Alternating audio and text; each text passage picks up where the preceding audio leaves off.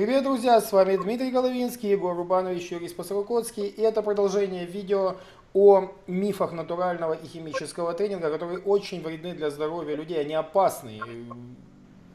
Дилдобилдеры, натуралы, эм, или как можно сказать, дебилдеры, по-разному их называют, распространяют мифы, которые помогают им набрать большое количество подписчиков. Но, увы, результаты травмы, сломанные судьбы – и э, хотелось бы привести пару конкретных примеров. Первую часть видео вы можете посмотреть, перейдя по ссылке в описании к этому видео, и посмотреть первую часть, где мы рассматривали очень интересные моменты о химическом и натуральном тренинге. Теперь же хотелось бы поговорить о вреде, который наносит совет, который дает конкретно Алексей Шредер, что натурал не может травмироваться. Он обладает сильной генетикой, он вполне может повиснуть в подтягиваниях на турнике, полностью вытянув плечевой сустав – до конца выпрямив руки с весом 80-90 кг дополнительным на себе, при собственном весе 100 кг. То есть 190 кг ложится на сустав.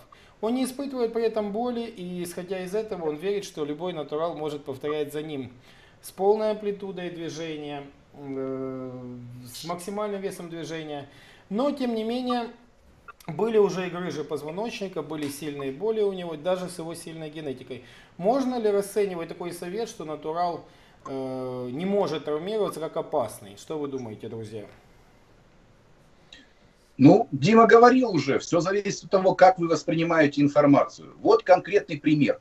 Э, есть такое упражнение, на мой взгляд, самое тупое, которое только может быть, гильотина для грудных мышц. Якобы, и это подтверждает электро... Забыл, как эта фигня называется, аппарат. Я, кстати, к нему отношусь очень... Миографическое, э, сам... миографическое да. исследование. Да, да, я отношусь к нему очень сомнительно. Так вот, этот аппарат показал, что гильотина действительно включает максимально возможное количество мышечных волокон в верхней части грудной большой мышцы. Но, друзья, как бы вы ни делали это упражнение, как бы вы ни изощрялись технически грамотно, биомеханика этого движения совершенно противоестественна плечевому суставу. И вы просто убьете свои плечевые суставы. Несмотря на то, что всеми уважаемый Денис Борисов советовал это упражнение. Поверьте, никогда не стоит делать это движение. Неважно, с каким весом вы будете работать, в какой амплитуде, и неважно, как вы будете подгонять под себя технику. Просто анатомически плечевой сустав не подходит для этого. А вот еще один пример. Э, я хотел, чтобы вы тоже, друзья, привели к примеру конкретные примеры, чтобы люди понимали. Вот два химика. Э, Лисуков и плюшевая борода. Я хочу вам сказать, если вы будете слушать все, что говорит Лесуков, применять это на себе, пропуская через призму индивидуализма, то вы будете получать пользу. Если вы будете слушать любой совет от плюшевой бороды, вы обязательно получите травму. Потому что ебашить, ебашить и еще раз ебашить, но это только если у тебя в башке ничего нет. Дим, ты согласен с этим? Я сейчас не думаешь... помню конкретных методических советов. Может быть, я все-таки не знаток видео Брюшевой бороды, но я не помню конкретных методических советов Брюшевой бороды. То есть ну, делать... Совет, извини, я тогда тебе скажу просто. Его общая концепция – это перетренированности не существует, нужно тренироваться каждый день, нужно убивать себя там до седьмого пота. С тренировки Если... надо уползать еле живым. Если ты больной, то ты все равно должен себя убивать. Короче, смысл такой, что вот мотивация, мотивация, мотивация. Тренировка, тренировка, бери больше, кидай дальше. Техника это для лохов. Значит, э, ну вот прежде всего, да, с позиции того, что натурал не может травмироваться. Все-таки, конечно, ну это просто утверждение, я не знаю, Юрий, взято ли оно близко к цитате, да, прямой, но все-таки это... Близко это абсурдное выражение, то, что натурал не может травмироваться. Это вот оно просто противоречит здравому смыслу. То есть, я думаю, здесь надо быть хронически не знать спорт и спортивные дисциплины, железный спорт, чтобы такое всерьез утверждать. Но, опять же, здесь надо анализировать контекст, при котором это сказано. Что касается вот вообще да, травматизма и подобное, ну вот Егор хорошие примеры привел, что есть упражнения, в которых риск травматизма, он э, прямо вот выше чем в других упражнениях.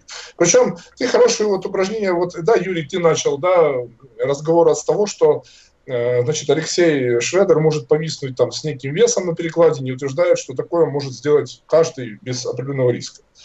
Э, вот есть такое упражнение «жим из-за головы». Вот. Также, точно так же есть э, скажем так, информация на предмет того, что это упражнение обладает повышенной травмоопасностью. Однако здесь встает вопрос, насколько у человека мобилен плечевой сустав и насколько хороша гибкость у грудных и плеч. То есть, если гибкость позволяет делать данное упражнение, то человек его может делать без никакого риска и все будет с ним хорошо. Если же гибкость не позволяет, то нужно либо не делать данное упражнение, либо развить гибкость и, соответственно, потом делать. Примерно то же самое можно сказать про вот возможность повисать с определенным весом и подобное. Если у человека плечевой сустав закрепощен, то это будет ну, связано с риском и, скорее всего, вызовет некоторые повреждения. Если он гибкий, хоть 100 килограммов вешайте, на вот сама прочность сустава, да, вот просто сустава, если говорить о прямом воздействии сустав в сустав или на растяжение, она там колеблется от 800 килограммов до тонны, а то и больше, поэтому главное, чтобы Э, сухожилия и части крепления не получали нагрузки, и тогда все будет хорошо. То есть вопрос подготовленности безусловно. Вот. Ну, а в целом, опять же, повторюсь, что фраза крайне несостоятельная, если она имела место. Ну, э, скажем так, очень много прозвучало фраз в таком именно, в такой формулировке. Например, что у натурала травма это необычайная редкость, там э, это почти невозможно, это что-то невероятное, чтобы натурал травму получил в базовых упражнениях. Это все химия, это все химия. Но другая крайность у бородачей. Они рассказывают, что вот, допустим, если ты химик, даже травмировал ты себе мышцу, порвал, ну так что тебе, уколол себе тест, уколол себе гармошку, на следующий день проснулся и все зажило. Вот можете ли вы сказать, правда ли, что вот, грубо говоря, та травма, что у натурала там заживает месяц, у химика там заживет там за пару дней? Или это все-таки еще один способ привлечь подписчиков, чтобы вызвать зависть, вызвать ненависть к профессионалам и так далее? Я, ну, я быстренько дам ответ, Егор, передам тебе слово.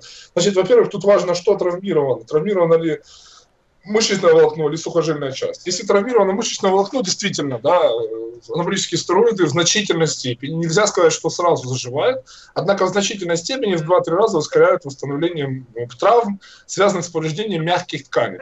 Мягкие ткани снабжены большим количеством кровеносных сосудов, там активно идет синтез белка, и, в общем-то, да, анаболические гормоны всегда ведут к тому, что, например, мышечные какие-то повреждения, растяжения, разрывы заживают гораздо быстрее. Что же касается сухожильных повреждений, или повреждений сустава, или связок, образующих сустав, то здесь все примерно на том же уровне, если не хуже.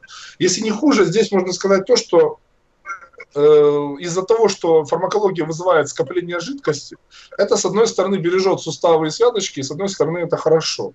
Однако, если повреждение уже возникло, возникает отек если существенное повреждение, если разорвана, например, э, связка коленного сустава, да, или каким-то образом травмировано крепление мышцы, в месте повреждения всегда возникает отек. И если э, у человека уже есть некое скопление жидкости, некая задержка, то отек это тем хуже, восстановление будет тем хуже, чем, соответственно, больше первичное вот это вот скопление. Поэтому здесь можно сказать, что эффект может быть даже обратный. То есть на химии сухожильная часть или повреждение сустава будет заживать еще хуже, еще дольше из-за того, что вот это этот вот отек имеет место. Поэтому, ну, не согласен, конечно же, данной точка зрения. Вот, вижу вот все примерно так. Егор. Ну, насколько я знаю, ты прав. Во-первых, очень многое зависит от характера травмы вашей. Но э, э, люди, которые натуралы, утверждают о том, как воздействует фармакология, ну, как минимум вызывает вопросы, да, откуда вы все это знаете.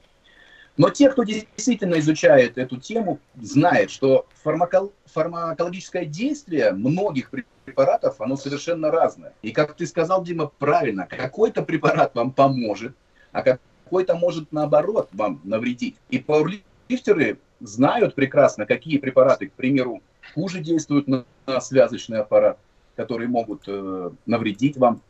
К примеру, очень много споров по гормону роста, да, он якобы и помогает, но в то же время на связке, насколько я слышал от э, лифтеров многих, что действует не очень э, положительно.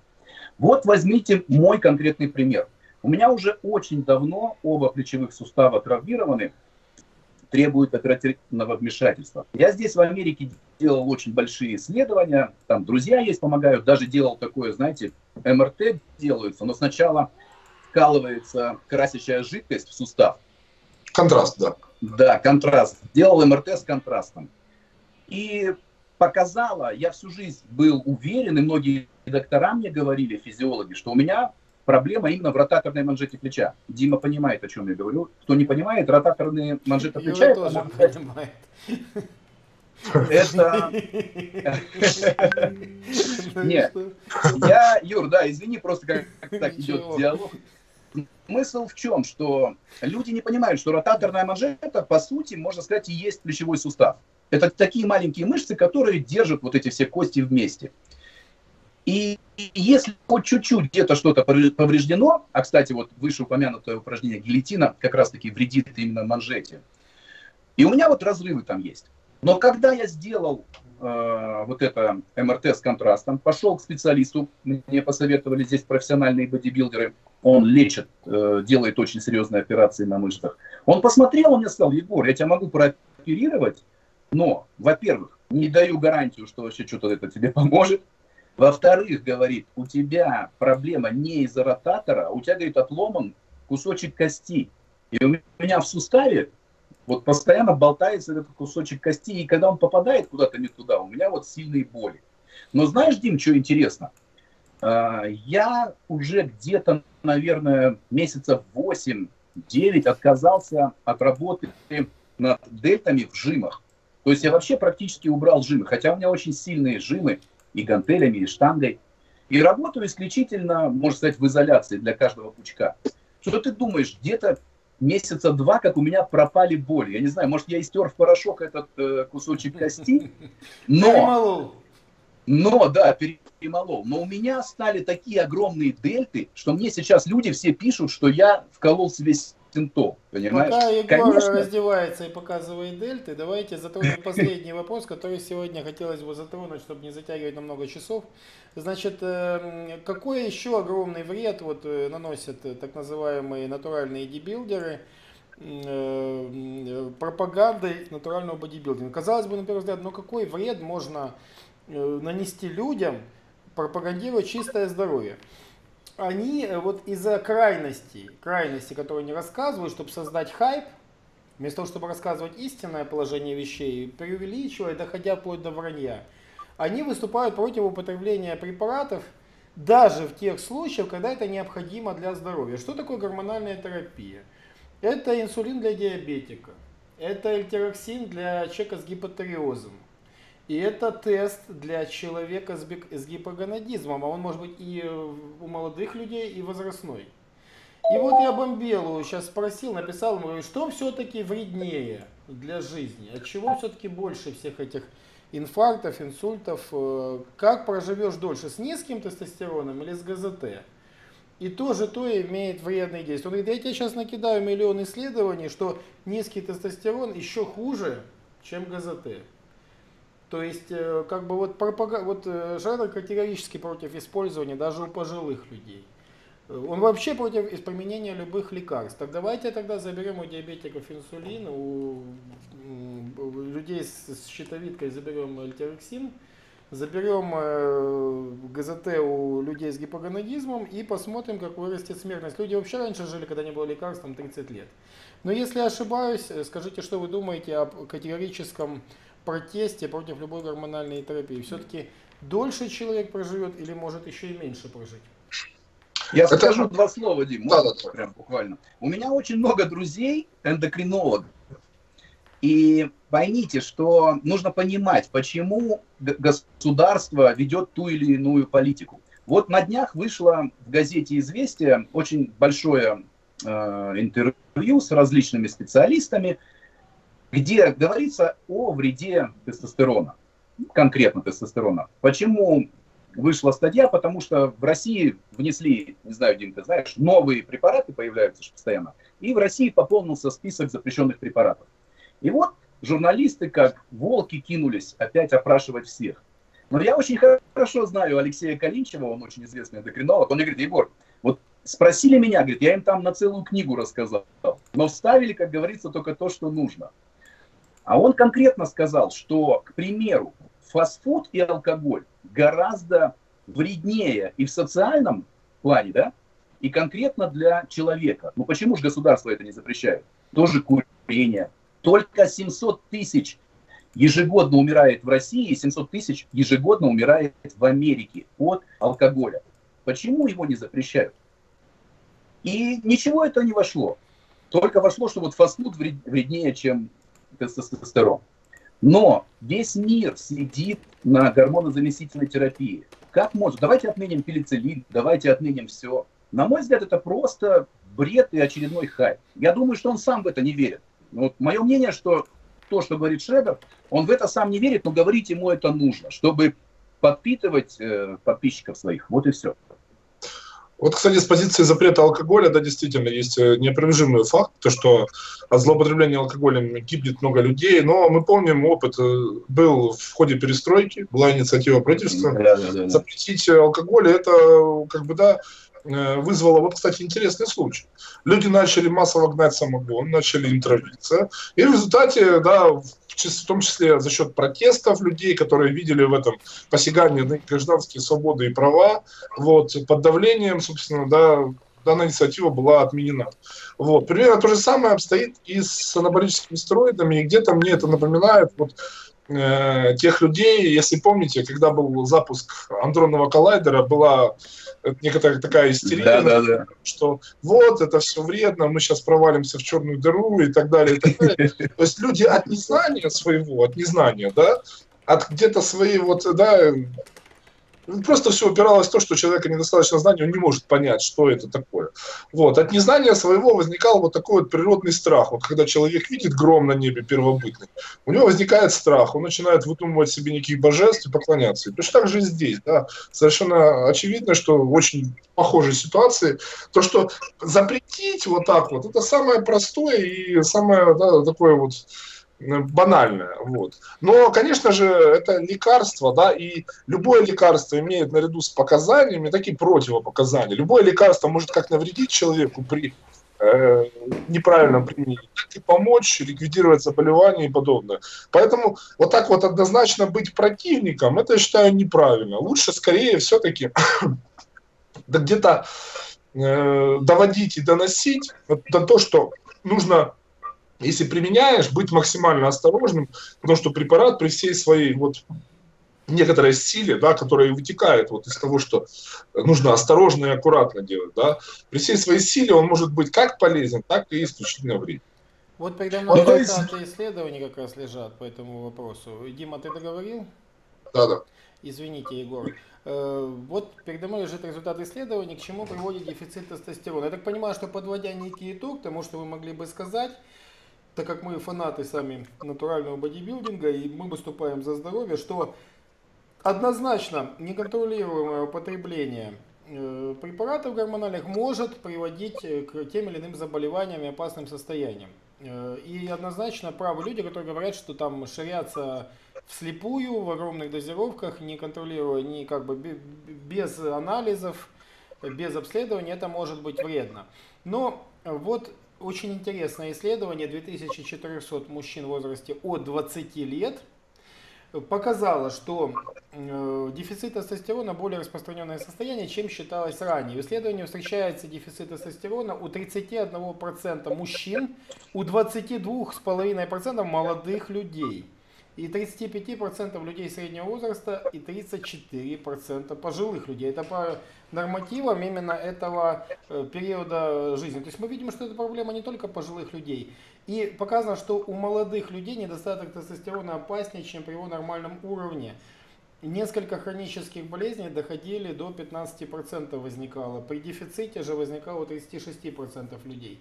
То есть получается, что э, истина в том, что опасно и Вредное воздействие препаратов также опасно и нехватка гормона. То есть э, истина в том, что э, грамотный подход и э, не впадать в крайность. Я правильно понимаю ситуацию или нет? Да, совершенно верно. Если говорить о таком препарате, как тестостерон, то умереть от него, вот умереть, это не, невозможно. Это невозможно. И ну, чтобы умереть, нужно поставить себе, не знаю, несколько шприцов сразу к ряду, чтобы образовалось сильное воспаление вместе инъекции. Но от, непосредственно от эффекта данного препарата умереть невозможно. Поэтому ну, так вот, с таких позиций, с таких позиций аспирин опаснее, чем тестостерон, потому что аспирин может вызвать кровотечение, которое не остановится, и привести к смерти. Тестостерон же, ну, если говорить конкретно про тестостерон, то его опасность, она практически сведена к нулю. Но я согласен с Димой, что лучше просвещать людей, и не лучше, а важно просвещать людей, нежели чем что-то запрещать. Ведь все мы знаем, что запретный плод слабый, да? И если человеку объяснять, что нет смысла, пока ты молод, пока ты растешь, развиваешься, применять фармакологию, потому что у тебя и так свои гормоны хорошо играют, а большинство поступает наоборот. Посмотрите, как люди в молодости принимают, а потом наоборот не принимают. Ну, на мой взгляд, вот это самая большая тупость. А во-вторых, позвольте я выражу свою точку зрения. Она для многих может быть дикой, но я считаю, что практически на 100% возможно я прав. Посмотрите, ведь все, что происходит э, в государстве, в любом, э, делается в первую очередь для пользы самого государства. Сейчас во всем мире остро стоит проблема Э, пенсионных фондов, пенсионных накоплений. Увеличивается численность населения, не хватает денег тех, которые были накоплены раньше, чтобы платить. Так вот, посмотрите на ситуацию. Тестостерон продлевает жизнь мужчины, делает ее более качественной. Алкоголь, табакокурение, всякая дрянь убивает человека, мужчину. Понял. И государству, государству, на мой взгляд, гораздо выгоднее запрещать то, что делает вас здоровее, а то, что вас убивает, чтобы вы не дожили даже до пенсионного возраста и не нужно было на вас тратиться, это все разрешено. Это можно воспринимать как теорию заговора, но, на мой взгляд, это просто здравый смысл и логика. Дим, что ты думаешь? Можно у вас там открыто высказываться по таким мыслям? Не, у нас, у нас-то можно открыто высказываться, но, ну, опять же, все-таки, да, на мой взгляд, проблема лежит немножко, да, она немножко проще, да, чем все-таки, чем, вероятно, вот у нас, ну, на Украине, ты знаешь, прекрасно, у нас тестостерон продается в аптеке, можно без рецепта зайти купить, и, в общем-то, да, встает вопрос просто отдельного, отдельного а, осознания личности, вот, то есть, чтобы человек конкретно отдавал себе отчет, том, что, что хорошо, что плохо, что надо, что не надо. Вот. А с этим, как правило, все-таки возникают проблемы. Поэтому, в общем-то, да, даже если вот говорить о теме сегодняшнего разговора, о том, что там, да, натуралы говорят, там, перемят химиков, там, вроде меня, и говорят, что это все вредно и подобное, ну, пускай они это делают. Пускай они это делают, меньше людей вообще заинтересуется, да, и меньше людей, э, скажем так, по незнанию может себе навредить. То есть, с одной стороны, это благо. С другой стороны, да, как, э, в общем-то, как человек, который стремится, в общем-то, да, познавать истину, где-то там понимать, что к чему, и да, видеть все, всю картину в целом, да, можно сказать, что все-таки вред от препаратов минимален, при грамотном использовании на определенных уровнях спортивного мастерства вполне обусловлен и как бы, да, сложно человека осудить, если он принимает такое решение, да, вот, ну, тут уже вопрос, как бы, самой личности. Вредно носят а. химики, которые подсаживают людей на химику, и на химию лишь бы продать курс, да, и вредно Безусловно. носят натуралы, которые э, запугивают людей, и они, даже когда необходимо принимать для улучшения своего здоровья, не примут и могут из этого быстрее сдохнуть. Поэтому, ребята, пропускай, думайте своей головой, ребята. Если обычно, если человеку надо принимать по здоровью, то ему назначают врач. Если да. все-таки дядя, дядя доктор в белом халате написал в рецепте тестостерон, в общем-то, да, что, в общем-то, бывает редко крайне, но, тем не менее, да, если он написал в рецепте, то обычно, да, человек пойдет, скорее всего, и купит и будет применять. В странах СНГ редко. В Америке в Европе наоборот, это очень часто Очень часто, да. Насколько я знаю, практически, да, 80 или даже более процентов людей свыше 40 лет, э, молодых, имею в виду мужчин, э, как правило, настоятельно рекомендуют организовать ГЗТ, потому что при текущих вредных воздействиях, при текущей экологии, плохой пище, все-таки, да, после 40 лет уровень тестостерона уже довольно низок, и для поддержания такого активного уровня жизни обычно рекомендуют ГЗТ. А Но еще, да, еще, да, Юр, угу. я, вам это и тебе, и Диме будет очень интересно. Я живу в Америке, вы знаете, да, в этой стране. Знаю, Насколько да. бы она не была там прекрасная, здесь классно жить, э, опять-таки вернемся к государственной политике. Смотрите, ну, понимаете, да, очень много общаюсь с различными людьми, и есть э, в окружении профессиональные врачи. И такая политика у государства Америки, чтобы вы понимали, вы все знаете, здесь очень распространены депрессанты, да, антидепрессанты. Так вот, те антидепрессанты, которые не вызывают привыкания, не проходят гос одобрения. Я Задумайтесь, понял, почему. Понял. А еще, и еще, против и еще, да это не заговор, это не теория заговора, не нужно путать как бы хрен с пальцем. А понимаете, Выгода какой большой, ведь, ведь в Америке, в Америке все контролируется государством. Это в наших странах, запретив стероиды, э, полиция и соответствующие службы на этом зарабатывают, потому что крышуют, курируют. В Америке все крышует и курирует Америка. Вы, вы понимаете, какой, да, Дим, вот ты назвал там процент 80, да даже если это 50 процентов, вы, вы умножьте, посчитайте, какое это огромное количество денег приходит в государство. У меня очень важные слова для вас, друзья. Что вы думаете о двойных стандартах и лицемерии? Э, когда я спросил э, Шредера, верит ли он, что Головинский пожал 220 килограмм натурально, он сказал, что он не верит. Даже не, не зная Диму, не зная, как он тренируется, не зная, сколько он весит, он просто сказал, что он не верит. Когда с ним встретился Алексей Мокшин и сказал, что вот у меня есть друг, вот ты натурал, да, ты предлагаешь тебе верить. Алексей говорит, да, предлагаю. Эм, у меня есть друг, который занимается пауэрлифтингом, собрал сумму около тонны. Он полностью натурал, я хорошо его знаю. Ты веришь ему? Он прошел допинг-контроль, сдал все анализы и многократно. Алексей сказал, нет, ему я не верю и верить не буду, даже не знаю твоего друга. Он говорит, ну, ну это же двойной стандарт, ты предлагаешь верить тебе, но сам ты не хочешь верить никому. И получается, что вот направленность этих каналов, э, натуральных дилдобилдеров, э, посмотрите, я офигенный, посмотрите, все вокруг говно. Подписывайтесь на меня, отписывайтесь от всех остальных. Но мне кажется, что это все-таки не совсем э, честная и открытая позиция.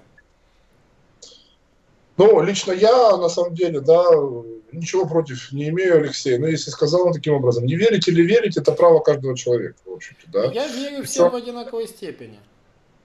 Да, причем вот такое вот э, стремление отторгать э, доводы, какие бы то ни было, да, и какие бы то ни было факты, э, ну, она, опять же, характеризует, ну, как бы человека, вот, да, с определенной стороны. Поэтому, ну, лично, как, как могу ли я прокомментировать, по-моему, это не на руку самому Алексею, с одной стороны, да. С другой стороны, ну, опять же, каждый решает сам, что делать или что не делать. Может быть, может даже это не характеризует отношение Алексея вот в должной степени. Может быть, даже это э, что-то, что он должен был сказать, да, где-то в поддержании своей репутации там, или подобное, подобное. Потому что у него есть определенные, да, э, есть реальные факты, да, вот реальная мировоззрение человека, как он мыслит. А есть то мировоззрение, которое он должен проецировать на интернет-аудиторию, на социальные сети. Поэтому, ну, мне лично глупо осуждать, да, за такое именно вот отношение. Ну, а там уже пусть аудитория сама разбирается, кто прав, э, кто химичит, а кто нет. Друзья, на прощание пару слов о каналах ребят, которые сегодня участвовали в, этих, э, в этом двухэтажном видео, которое будет размещено минимум на двух каналах.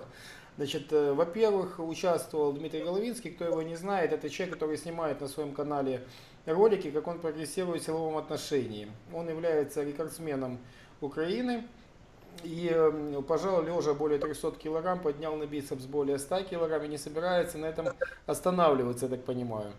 Э, мы можем подписаться на его канал, чтобы следить за тем, чего ему все-таки удастся достигнуть, вопреки как бы генетическому пределу, да, вопреки всем трудностям куда, сопротивлению судейства, куда все-таки удастся дойти.